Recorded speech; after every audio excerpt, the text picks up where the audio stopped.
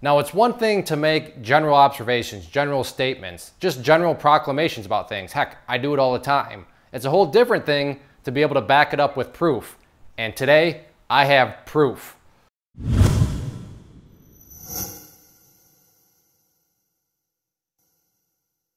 Let's talk about just the attitude of failure. Why do so many people fail? And it's really just as simple as hey, let's just get started, let's just get to the good stuff. And it's taken a while to gather this data, uh, but I have, I think, a quite abundant amount that kind of just symbolizes this whole hey, yeah, I, I know some stuff's important, but let's just get started now. Like, I want to start making some money. I want to get involved in everything like right now. So to do this, I want to look at some of the past videos that I've made um, over the course of the past few years that I've had the YouTube channel. And like I said, it's taken some time for the you know views, the data to add up. But at this point, I think it becomes very um, symptomatic of kind of where people's attitudes are. And you know, this is not like some sort of rocket science discovery, but at least it's some data over me just making a general proclamation about, hey, people fail because they just want to get started too soon. They don't want to talk about, they don't want to learn about all the important things. So like I said, let's take a look at a couple different videos that I've done.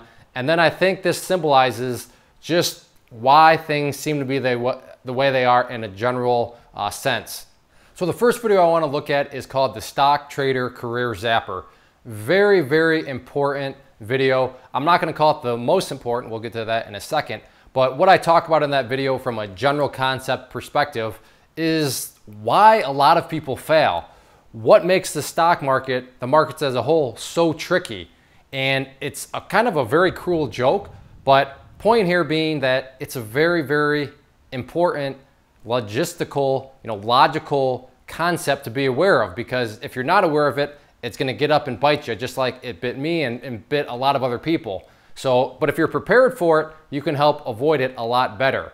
So taking a look at the numbers here, you can see that it was posted on February 26, 2015, so a little bit over a year ago, and it's gotten 2,400 views. So 2,400 views uh, a little over a year and a half ago, keep that number in mind. Second, all wins are not created equal. This is, without question, the most important video I've ever made on the channel, bar none, and really it's not even close. All wins are not created equal. What I talk about here is just bottom line, what's going to determine if you're successful as a trader or if you're not. And it just, I, I, you know, I could go over and over. I want to actually start talking about what that, what's in that video, but that's not the point of this video. But like I said, there's no question in my mind. Clay, what is the most important video you've ever created? And there's hundreds of videos now. All wins are not created equal. That video right there. So let's take a look at the numbers on this one.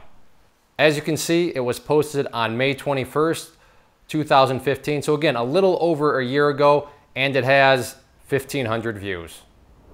Video's been around over a year, 1,500 views for the most important video I've ever created.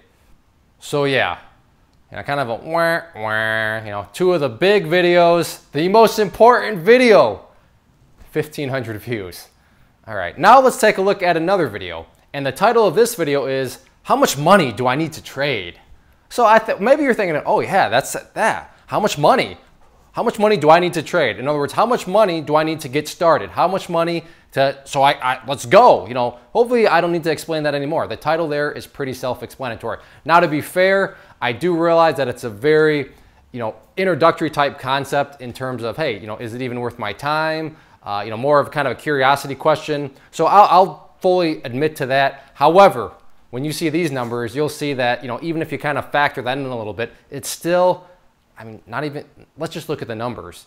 So how much money do I need to trade stocks? You can see here it was posted on December 12th, 2014. So it has been out a little while longer, but when you look at the views, you can see even if you factor that in, it's just not even close as this one, as it stands right now, 155,000 views. And there you have it. There is just real statistical proof of where people's minds are at. Rather than learn about something as critical as, hey, all wins are not created equal, nah. how much money do I need to get started? Let's go. And again, I realize there's probably some SEO type things in there, maybe some uh, you know keywords, maybe not as many people are going to be searching for that because they don't even know to search for it. But again, the disparity is so big that even when you factor in all those different things, it's still not even close. I mean, let's say that it's half. So half of all that other stuff takes out. That's still like 75,000 views compared to 1,500 views. Any way you slice it, not even close. So the whole point here is, look, I realize that there's a lot of videos out there that, you know, just are focused on those sorts of topics. And don't get me wrong, how much money do you need to trade? Yes, it's an important topic, but that's further on down the line. There's many other concepts and topics that you should be understanding before you even ever get to that point in the journey. So if you find yourself as, you know, I, that how much money? That video sounds like the best one. Odds are, according to the numbers, you probably feel like that would be the one I would choose out of the three of those. But therein lies the problem with the markets. That's why the numbers are so low in terms of people failing or people not uh, succeeding is because people want to go to kind of those you know sexy sounding videos so again be honest with yourself if i just listed out those titles which one would you choose? According to the numbers i would guess you would choose hey how much money do i need to get started?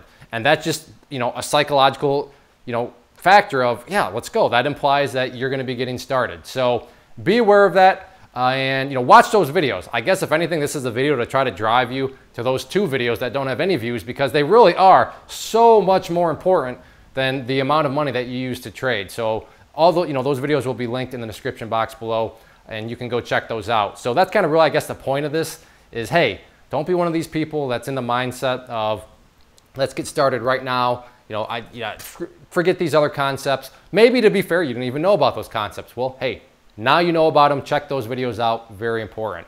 As always, if you enjoyed the video, click the like button, leave a comment below, subscribe to the channel, and you know, let me know if you have any questions or anything of that nature. Thank you for watching. Get out there and happy trading.